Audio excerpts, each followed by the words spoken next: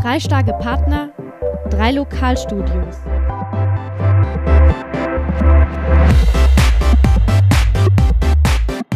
Fernsehen für die Region. OK Weinstraße.